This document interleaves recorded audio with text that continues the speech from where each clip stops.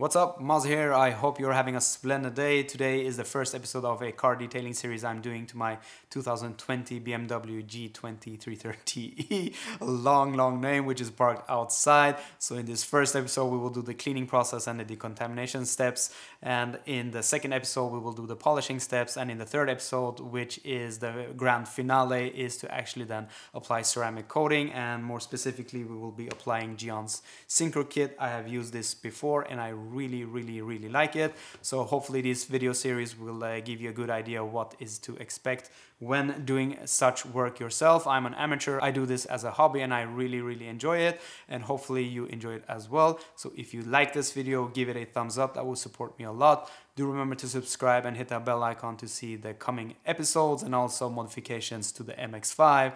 We have some tracking videos coming as well. Hopefully we have some modding for the BMW coming as well and some other videos which will be fun. I have been fully, fully busy with uh, construction work, etc. at our house. I have a vlog series coming for that, so stay tuned. A lot of talking. Let's jump into the video. Hope you enjoy it and I will be seeing you on the next one.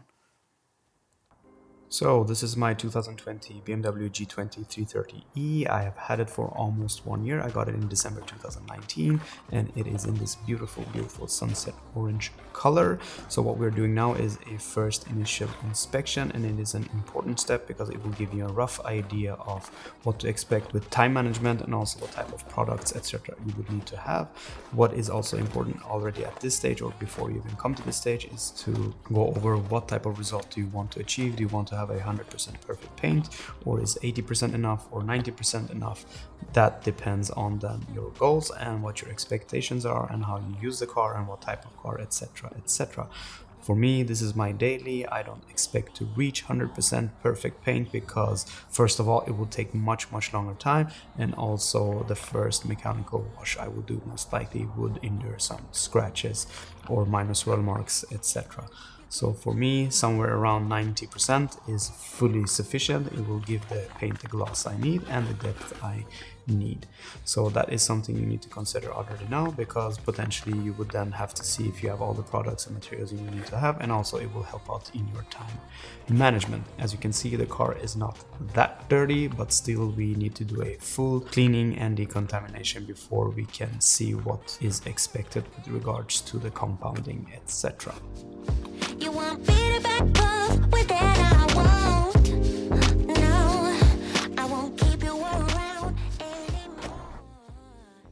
The first step of the cleaning process is to get the wheels clean because they are usually the most dirty part on the car.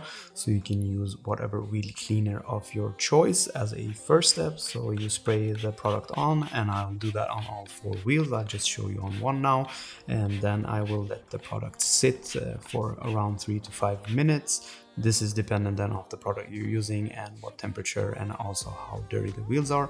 I need to mention these wheels have been ceramic coated. I have a video on that if you want to have a look. So once uh, the product has been sitting then we thoroughly rinse the wheels from the product and then we move over with the actual mechanical wash.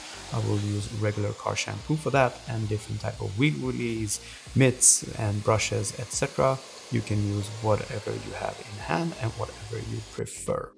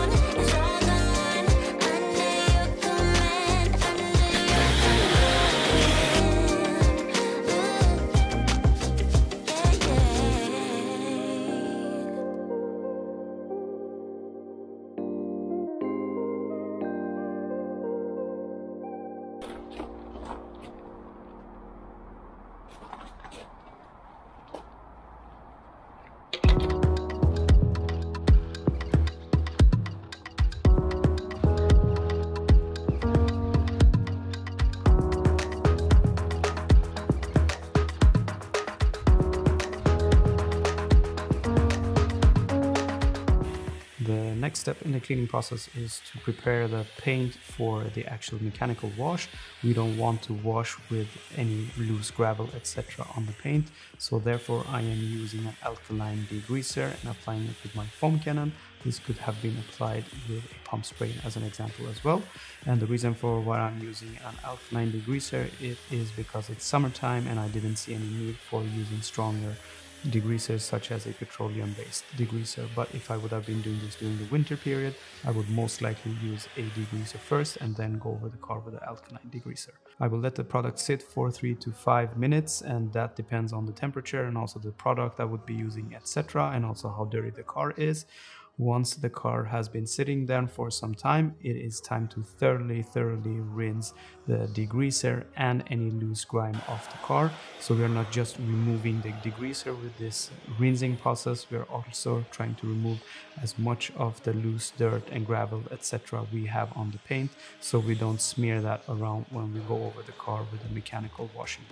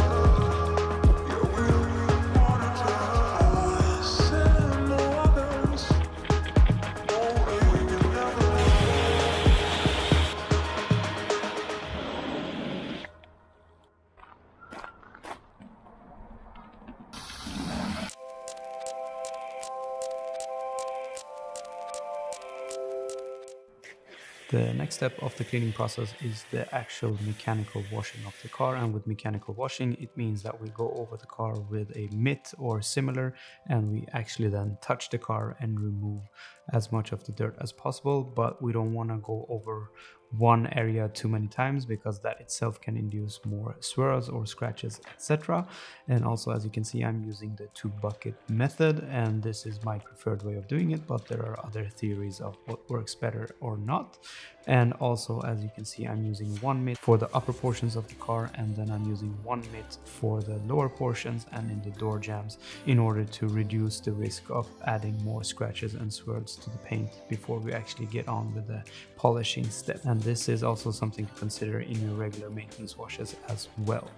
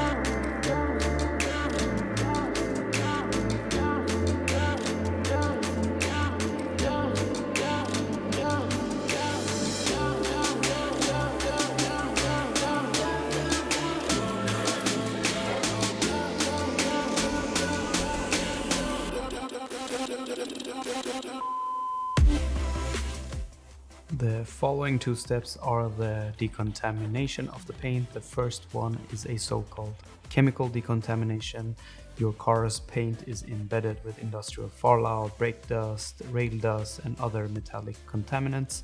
So what the products in a chemical decontamination then do is to react with these metallic contaminants and loosen them up. And once you rinse the product off, the contaminants will be washed off from the paint and what is significant usually for these type of chemical decontamination products is once they react with the metallic contaminants is they will change color to purple or red etc and then you will know that the product has reacted and done its job once the product has been thoroughly rinsed, the next step is then to do a mechanical decontamination. So all the previous steps we have done might have left some larger contaminants left on the paint.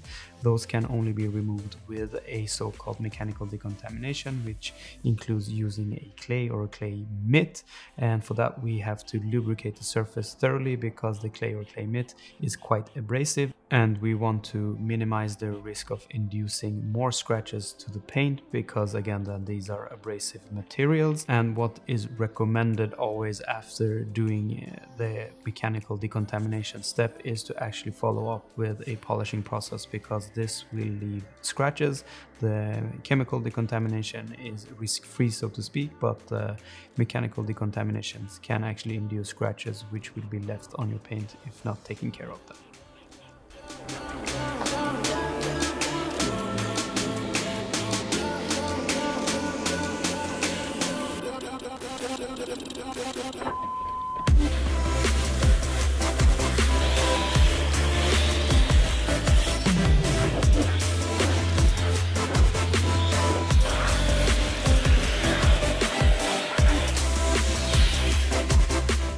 last step of this cleaning and decontamination process is to thoroughly dry the car and as you can see I'm using a towel and I'm also using a dryer to get any water out from the nooks and crannies. This makes it simpler to add the masking tape and also the vibration from the polisher might release this water if you would have not blown them out with the blower then.